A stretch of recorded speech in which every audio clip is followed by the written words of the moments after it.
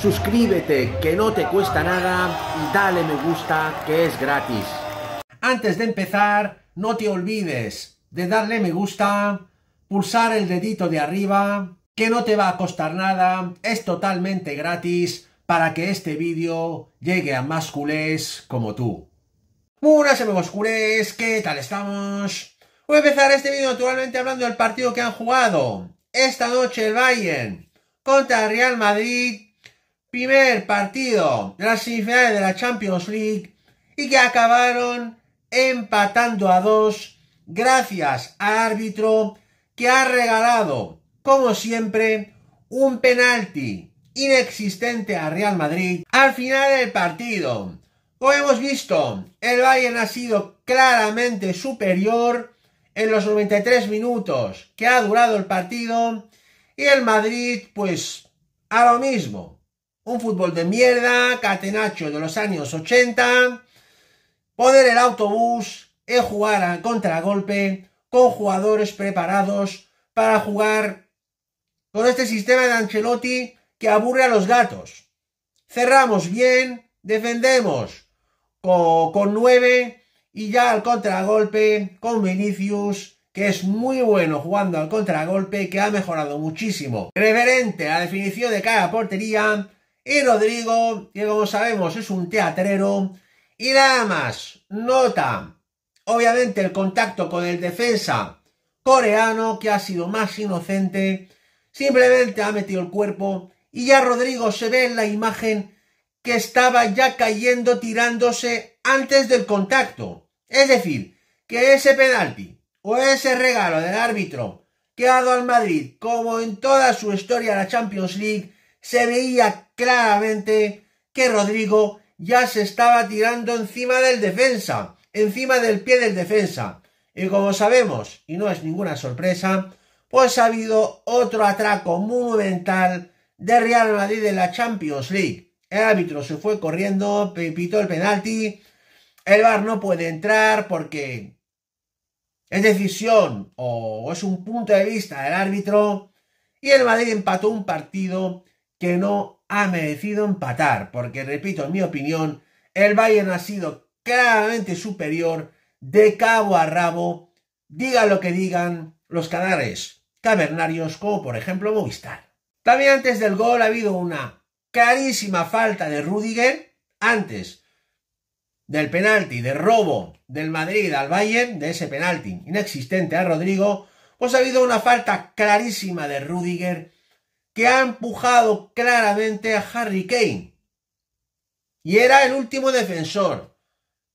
Y obviamente, pues Movistar, como canal cavernario que es, no ha dicho nada, los comentaristas han caído la boca y nadie se pero ha habido un empujón clarísimo de Rudiger antes justamente de ese penalti inexistente a Harry Kane que ni el VAR ni el árbitro han querido ver. Y eso significa que con VAR o sin VAR, el Real Madrid siempre va a robar como ha hecho en toda su historia. Es que a mí esta competición de la Champions League ya me da asco.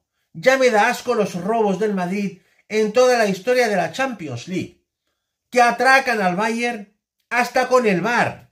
Referente al partido de vuelta, en mi opinión, del Bayern, como es mucho mejor equipo que Real Madrid, porque el Real Madrid no juega nada, solamente a poner autobús y al contragolpe con Vinicius, pues en mi opinión, el Bayern es favorito, porque tiene mejor entrenador, Thomas Tuchel, entrenador top, diga lo que digan, currículum clarísimo, lo demuestra, y tiene mejores jugadores tácticamente que Real Madrid. O sea, Real Madrid tiene a Cross, Vinicius y poco más porque el super balón de oro Bellingham, pues una vez más, ha estado desaparecido, igual que contra la eliminatoria y contra el Manchester City. Y aquí los cavernares nos están vendiendo de que Bellingham es el nuevo balón de oro del fútbol mundial. Así que si no hay robo y no hay atraco al Bayern del Bernabéu, que lo dudo muchísimo porque yo estoy más que seguro que va a haber un robo del Madrid a los alemanes, pues en mi opinión, el Bayern es claro favorito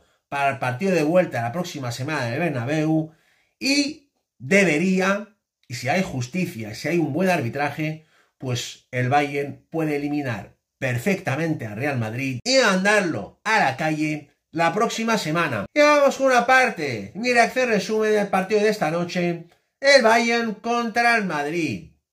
La verdad es que uno no puede con tantos atracos. Vamos a por ello. ¡Vamos! ¡Qué golazo, tío! Auténtico crack. El Barça tiene que ir a por Sané, tío. El Barça tiene que ir a por Sané. Tiene que ir a por este jugador, vamos. Este tiene que ser el fichaje del Barça. ¡Vamos! ¡Penalti! ¡Vamos! ¡Penalti! ¡Vamos, joder! ¡Vamos! Que no juega ni una mierda. Poniendo el autobús y al contragolpe.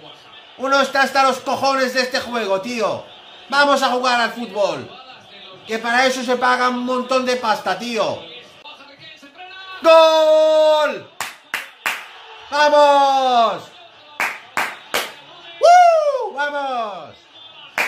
¡Vamos a por ellos! ¡Vamos! ay, ay, ay, falta el tercero. Falta el tercero del Bayern. Vamos, del tercero y el cuarto. ¡Penalti! ¡Robo, tío! ¡Robo! ¡Vaya robo! ¡Penalti! De, ¿Cómo se llama? De Rudiger. Nada. Barra libre. Barra libre. Así ganan. Así gana el Madrid. Sí, ahora sí. Ahora a favor del Madrid, sí. No te jode. Ahora a favor del Madrid, sí. La misma puta historia de siempre, tío. Los mismos robos de la Gam, nada. Cero patatero. Dejar, dejaros de excusas. No, no, cuando no juega bien Bellingham es que está tocado físicamente. Venga ya, hombre. Venga ya. Que no cuela, que no ha hecho nada. Y contra el City tampoco. Nada. Por eso queréis a Mbappé. Está dispuestos, vamos, a hacer lo que no se puede decir. Ni de coña, vamos, ni de coña. No es penalti ni de coña. Ojalá lo falle, tío. ¡Lo falla!